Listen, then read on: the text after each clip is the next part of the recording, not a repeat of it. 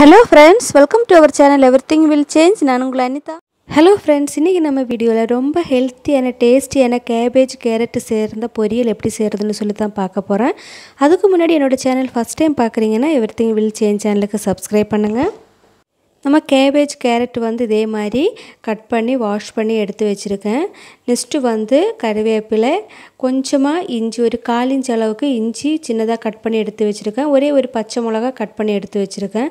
Next வந்து தேங்காய் சீரகம் பூண்டு வந்து நம்ம மிக்ஸி ஜாரில் அரைச்சி வச்சுக்கலாம். ஒரே ஒரு ஆனியன் கட் பண்ணி எடுத்து வச்சுருக்கேன்.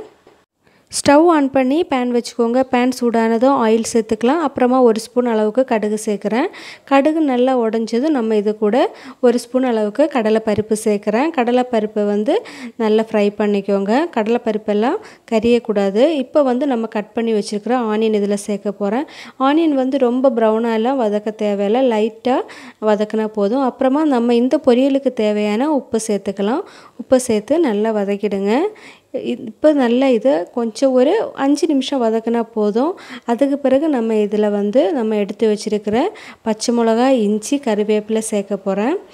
இஞ்சி வந்து குட்டி குட்டியாக கட் பண்ணி எடுத்து வச்சுக்கோங்க.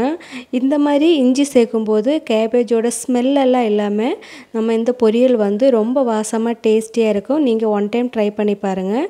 இப்போ அதை கொஞ்சம் வதங்கினதும் நம்ம இதை கூட க எடுத்து வச்சுக்கிற கேபேஜ் அண்ட் கேரட் வந்து சேர்க்க போகிறேன். நீங்கள் வந்து வெங்காயம் எல்லாம் ரொம்ப ப்ரௌன் ஆகிற வரைக்கும் வதக்க தேவையில்லை. இப்போ நம்ம கேபேஜ் கேரட்டு சேர்த்துட்டோம். இது கூட ஒரு கால் டீஸ்பூன் அளவுக்கு மஞ்சத்தூள் சேர்த்துக்கோங்க. மஞ்சத்தூள் சேர்த்து நல்லா மிக்ஸ் பண்ண பிறகு நம்ம இதை ஸ்டவ் சிம்மில் வச்சு இது நம்ம ஒரு பத்து நிமிஷம் மூடி வச்சு வேக விட்டுடலாம். கேபேஜில் வந்து தண்ணி இருக்கிறதுனால அந்த தண்ணியிலே வந்து இந்த காய் வந்து நம்மளுக்கு வெந்துடும். இப்போ நம்ம இது ஒரு பத்து நிமிஷம் க்ளோஸ் பண்ணி வச்சிடலாம். பாருங்கள் நம்ம க்ளோஸ் பண்ணி வச்சு பத்து நிமிஷம் ஆயிடுச்சு. கேபேஜ் கேரட்டில் வந்து பாதி அளவுக்கு மேலே நம்மளுக்கு நல்லா வெந்திருக்கும்.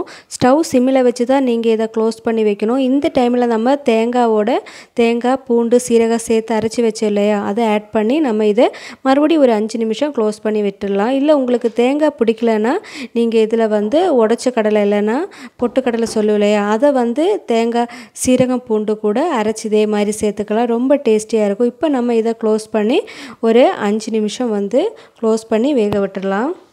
இப்போ நம்ம க்ளோஸ் பண்ணி வச்சு அஞ்சு நிமிஷத்துக்கு மேலே ஆயிடுச்சு. நம்ம இதை திறந்து பார்த்துக்கலாம். பாருங்கள் ரொம்ப தேங்காய் எல்லாம் வந்து அதோட பச்சை ஸ்மெல் எல்லாம் போய் வெந்திருக்கு.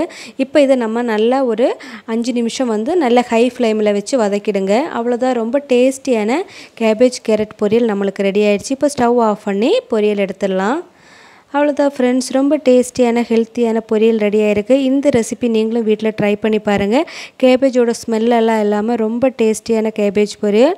பிடிச்சிருந்தா லைக் பண்ணுங்கள் ஃப்ரெண்ட்ஸுங்களுக்கு ஃபேமிலிக்கு ஷேர் பண்ணுங்கள் தேங்க்ஸ் ஃபார் வாட்சிங் don't waste water thank you take care